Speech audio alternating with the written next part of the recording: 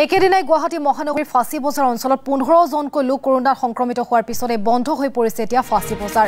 বিপৰীতে নগৰবেৰাৰ চেণ্ট্ৰেল বেংকৰ সন্মুখত দেখা পোৱা গ'ল এক ভয়ংকৰ দৃশ্য।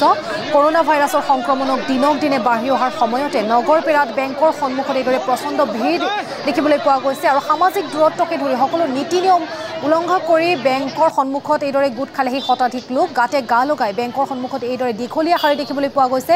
নিৰ্বিকাৰ হৈ পৰিছে এতিয়া আৰক্ষী প্ৰশাসন। আৰু এই সন্দৰ্ভত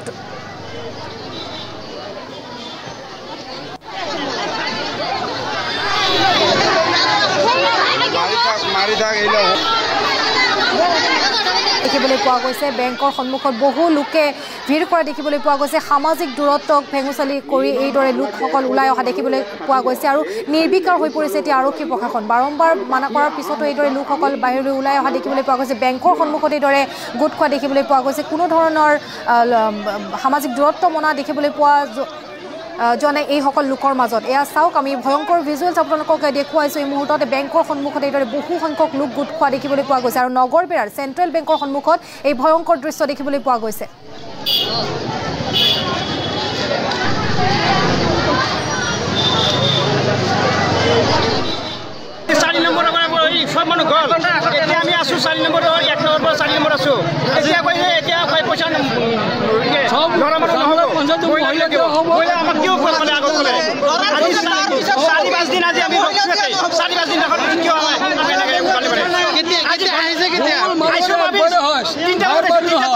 দহত আহি